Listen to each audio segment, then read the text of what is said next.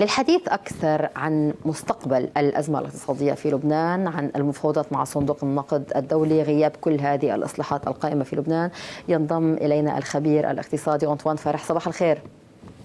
صباح النور يا هلا. يعني بالبداية اليوم كل كل الصحف اليوم بعيدا عن زيارة لودريون والتقدم بالملف الرئاسي أو ربما البطء في الملف الرئاسي هناك معطيات يعني تشير إلى أيضا أزمة مالية ستطول حتى لو أتى رئيس الجمهورية في الأسابيع القليلة المقبلة على اعتبار أنه لا إصلاحات قائمة الفجوة المالية إلى تزايد ولا سياسات مالية واضحة في الأيام أو في السنوات القليلة المقبلة توضع طبعا خلال هذه الفترة ربما لإنقاذ ما تبقى من الاقتصاد اللبناني ومقومات الدولة في لبنان.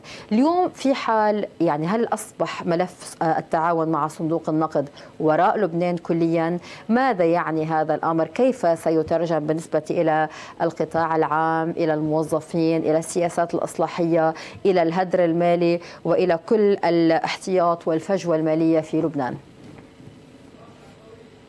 نعم خلينا نوضح اولا إنه صندوق النقد يعني مش صحيح الكلام اللي بينقال إنه وكأنه قطع ورقة للبنان واعتبر إنه ملف لبنان صار على جنب، هذا الكلام كنا نسمعه يعني سابقا حتى لما كان ينحط مهل يقال إنه في مهلة محددة وبعد بعد هيك صندوق النقد بيوقف التعاون، بالحقيقة خليني أرجع اكدها هيدي إنه صندوق النقد ما عنده مشكلة بهذا الموضوع، مستعد للتعاون لمدى طويل، لكن المشكلة عند لبنان، يعني صندوق النقد بيعرف بيقول هذا الكلام المسؤولين فيه إنه بالنتيجة من مصلحة لبنان يستعجل الحل لأنه بالنتيجة لبنان هو بيدفع ثمن كل تأخير عم بيصير بهذا الملف. ومن هون إذا بتلاحظ الوفد ركز على موضوع إنه أربع سنين يعني عم بيضوي على إنه وقت بتكون الأزمة صار لها أربع سنين وبعد ما اتخذ أي إجراء لمعالجة هذه الأزمة. من الطبيعي إنه هذه الأزمة لو أربع سنين بلشنا بعلاجها كان ممكن تستغرق أربع أو خمس سنين بس إنه طالما طولنا هالقد صارت بتستغرق أكثر وصارت بتكلف أكثر وإذا بنطول أكثر رح تكلف أكثر.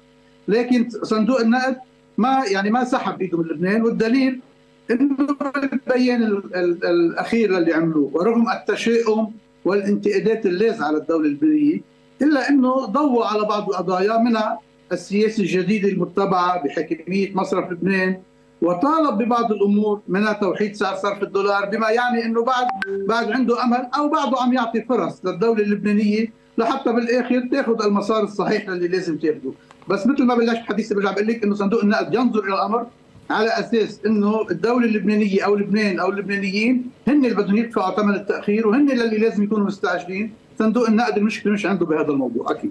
ما الذي يؤخر اليوم؟ يعني ما هي الإشكاليات أو النقاط العالقة بين صندوق النقد ولبنان أو بالأحرى يعني الإصلاحات اللي عم بيشيروا إنه في بطء بتنفيذها أو على الأقل في تقاطف للمسؤوليات، ما هي النقاط الأساسية ولماذا تتأخر من الجانب اللبناني؟ لكن بالحقيقة في شقين بهذا الموضوع، الشق الأول يتعلق بالإجراءات اللي كان لازم ياخذها لبنان ليوصل للاتفاق النهائي مع مع صندوق النقد الدولي، يعني ال capital control، الانتظام المالي، خطة إعادة هيكلة المصارف، كل هذه الأمور كانت هيدي يعني هي من اصلاحات بحد ذاتها قد ما هي إجراءات وممرات إلزامية للوصول إلى خطة التعافي وبدء الإنقاذ، وبالتالي كل هذه الإجراءات ما ما ما ما يعني ما ما ما, ما نفذتها الدولة اللبنانية رغم مرور سنة وشهرين أو ثلاثة على الاتفاق الاولي على مستوى الموظفين مع صندوق النقد. ونحن كلنا بنتذكر إنه حتى بالحساب يعني رئيس الجمهورية ورئيس الحكومة ورئيس مجلس النواب كلهم وافقوا على هذا الموضوع. ويمكن صندوق النقد كان حريص إنه يكون في موافقة من الرؤساء الثلاثة ومن كل جميع لحتى يتأكد إنه المسار بده يمشي بالطريق الصحيح. ما مش لحد اليوم كل هالإجراءات كل هالممرات الإلزامية نحو الإنقاذ بعد ما اتخذت. هلأ الشق الثاني الأساسي اللي تظهر أكثر خلال زيارة الوفد امبارح هي بيتعلق بالخطة التعافي نفسها يعني فلسفة خطة التعافي التي تقوم على مبدئيا شطب الودائع أو حط خط زيح بين الماضي والمستقبل. وهذا الموضوع كان مريح على صندوق النقد بده إياه. تفاجئ إنه اليوم اللبنانيين عم يرفضوه. هلأ الموضوع يعني المشكلة مش بالرفض. كان حقهم اللبنانيين يرفضوا بس كان لازم من الأول يكونوا واضحين بهذا الموضوع ويكونوا رافضين مبدأ شطب الودائع ويكونوا عم بيفهموا المسؤولين بصندوق النقد إنه هون المطلوب مش مساهمة الدولة إنها تدفع ودائع أو تعوض خسائر هي مسؤولية الدولة إنها تشوف قد ما تدفع من الديون للي هي استهلكتها فقط لا غير. وبالتالي لو اشتغلنا على هذا الموضوع بهذه المنهجية ما كان اليوم صندوق النقد عم يتفاجئ إنه بعد أربع سنين جايين نقول له نحن وكل الخطة اللي رسمت واتفقنا على فلسفتها نحن وياه جايين نقول له إنه لا ما بتمشي هاي. بالمجلس النيابي النواب اللي واجههم يعني قالوا له هذا الكلام وبعتقد حتى المسؤولين الحكوميين بلشوا يلمحوا بهذا الكلام. وبالتالي هيدي إذا بدك كانت المفاجأة إنه كان في غموض وكان في تمويه سابقا واليوم وصلنا على الحقيقة قربنا إجوا يقولوا له لا ما فينا نمشي فيها. بدنا نغير الخطة، هيدي كمان رح تعمل إشكالية ورح تستهلك وقت إضافي لنوصل لاتفاق أكيد. يعني هذا الأمر إضافة إلى سؤال يعني السؤال الأخير اليوم في حال يعني استمر الشغور الرئاسي أو تم انتخاب رئيس للجمهورية وبالتالي تشكيل حكومة جديدة مع وزير مالية جديد وخطة اقتصادية جديدة، هل هذا يعني بأنه نحن رح نروح على مفاوضات تبدأ من الصفر مع صندوق النقد في هذا الإطار؟ وكم يصمد لبنان في هذا التخبط السياسي الذي ينعكس على الوضع الاقتصادي بشكل مدمر يعني على كل المستويات؟ إذا صار في انتظام سياسي وصار في نيه للإنقاذ الوضع بيصير أهون لبنان بيتمتع بنقاط قوه دائما بنكررها وحتى صندوق النقد بالبيان اللي عمله يعني ركز أو أو لمح لهذه النقاط وقال إنه بما معناه ما تتوهموا إنه الأزمة راحت لأن صار عندكم موسم سياحي قوي صار عندكم دولار مقبول وضعه يعني كل هالأمور وبالتالي هذه نقاط قوة بيتمتع فيها لبنان. بس طبعا أكيد وحدة ما بتكفي وأكيد وحدة ما بتعمل إنقاذ محتاجين نستثمرها.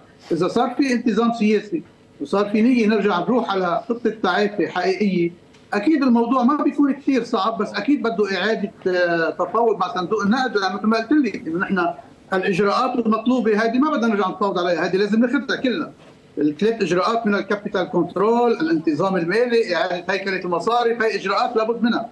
لكن الخطة الأساسية للي بتنظر على وضع المودعين وتوزيع الخسائر هاي بدنا نرجع نتفاوض مع مع صندوق النقد حولها. وهي لازم نقربها بمنهجية جديدة بفلسفة جديدة لحتى يقتنع كمان صندوق النقد إنها مش رح تعمل ثقل على الاقتصاد الوطني لما بيوافق على هذا الموضوع. بمعنى إنه صندوق النقد ممكن يوافق وما عنده مشكلة إنه نكون نحن عم ندفع الودايع وعم نرجع نخفف الخسائر عن الناس طالما هي ما عم تعمل حمل كبير على الاقتصاد. ولما تعمل حمل كبير على الاقتصاد بدنا نقنعه إنه رح نغير المنهجية وإنه هو الجي دي بي اللي عم بيشوفها اليوم قدامه للبنان هذه رح تتغير كليا لأن رح نشارك القطاع الخاص ورح نعمل فلسفة جديدة بالإنتاج. وبالتالي حجم اقتصادنا رح يرتفع بشكل كثير كبير مش مثل ما هو هلأ ماشي بهذا النمط مش راجعين على النمط الكلاسيكي إذا اقتنع صندوق النقد بهذا الأمر بعتقد الموضوع ما بيكون صعب ولبنان في قلع بوقت مقبول جدا قياسا بدول ثانية واجهت مشاكل قريبة من مشاكل لبنان. نعم، الكاتب والخبير الاقتصادي أنطوان فرح شكرا لك على هذه المداخلة.